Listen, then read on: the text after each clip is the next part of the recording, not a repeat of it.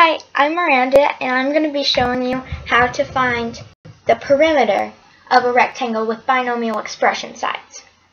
So what you do basically is you take the width, which is W, and then you'd add that to the length, which is L, and then you'd multiply that by 2.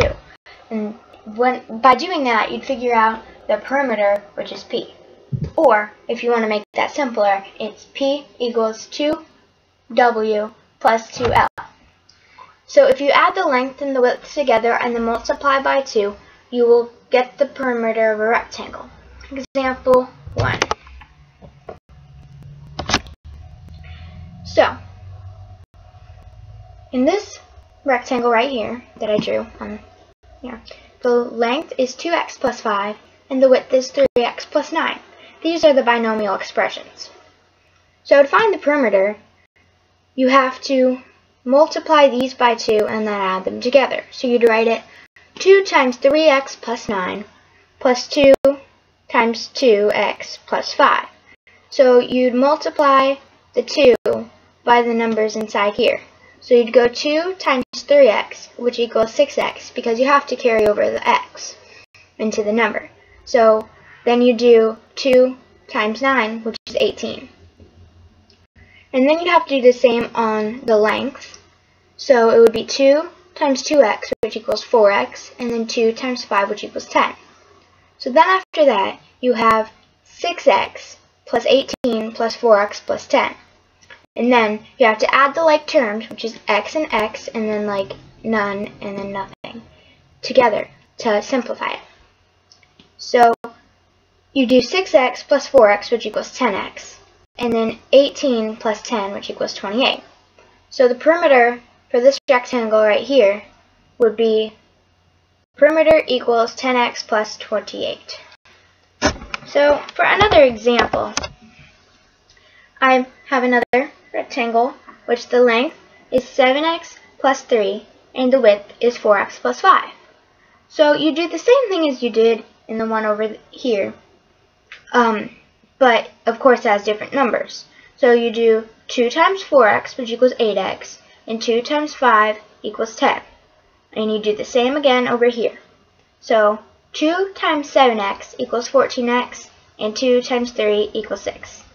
So you'd write that as 8x plus 10 plus 14x plus 6. And then you'd have to simple, simplify that the same way you did in the last example. So you'd add the like terms, which is 8x plus 14x equals 22x. And then, so 10 plus 6 equals 16. So then your answer would be perimeter equals 22x plus 16.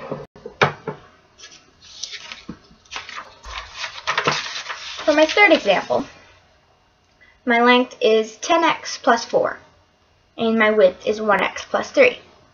So you'd write it out as 2 times 1x plus 3 plus 2 times 10x plus 4.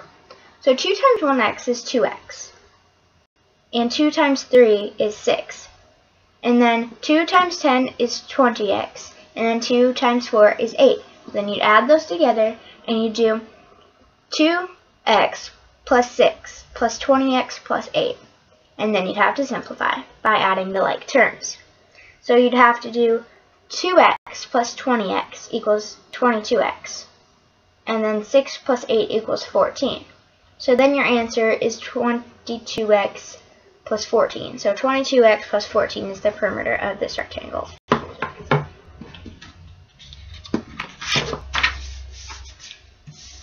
So then, this is going to be the last example because I just I'm going to just do one more just to make sure that you understand how to find the perimeter of a binom of a rectangle that has binomial expression sides.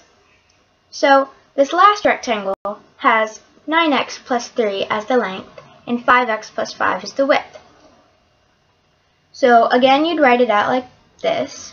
And so 2 times 5x equals 10x, and 2 times 5 equals 10. And then for the other one, 2 times 9x equals 18x, and then 2 times 3 equals 6. So then you'd write that as 10x plus 10 plus 18x plus 6.